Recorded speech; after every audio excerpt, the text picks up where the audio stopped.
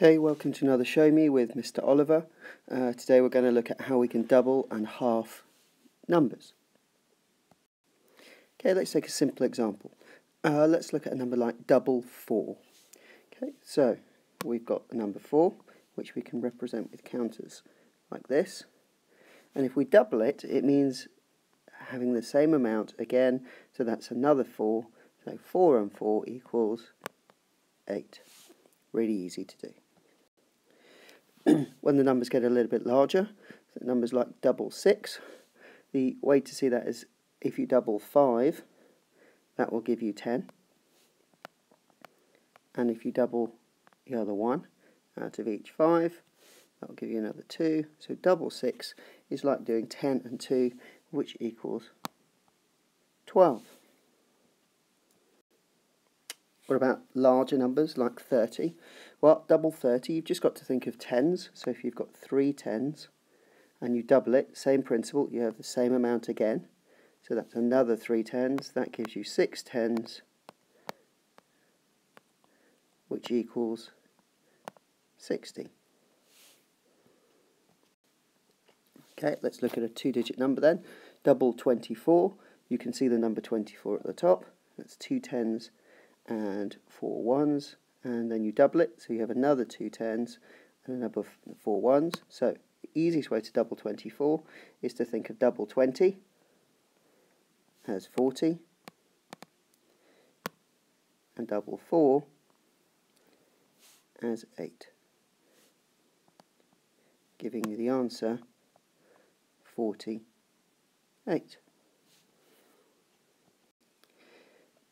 halving numbers means that you look at the number that you've got and you uh, keep half. That's one out of every two.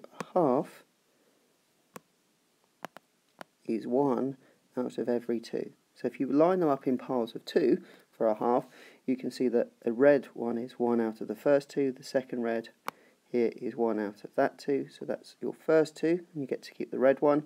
That's your second two, you get to keep the red one. That's your third two, you get to keep the red one. So what you actually keep is those three there. So half of 6 equals 3. Half of 14, you can see I've used different colours. I've used blue um, on the top and red on the bottom. You can see that I've split them into 5 and 2 for 7 and a, uh, which is blue, and then a 5 and a 2, which is 7 red ones. So you can see that I can see quite easily what half 14 would look like. So half of 14 would be, should we take this half for this time? Uh, so that's 5 and 2. So half of 14 equals 7. And you can check again and do the inverse, so 7 and 7 does that equal 14?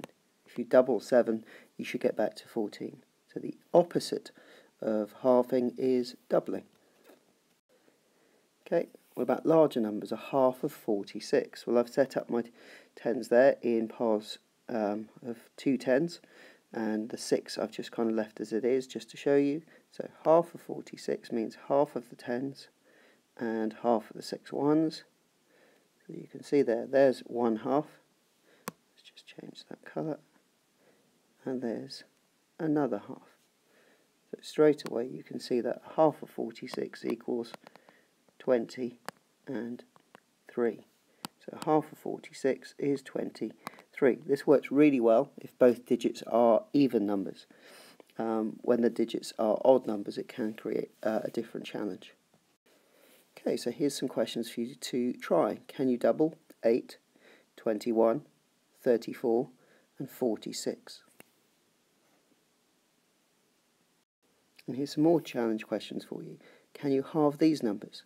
12, 26, 44 and 56. Okay, and what about numbers like 32?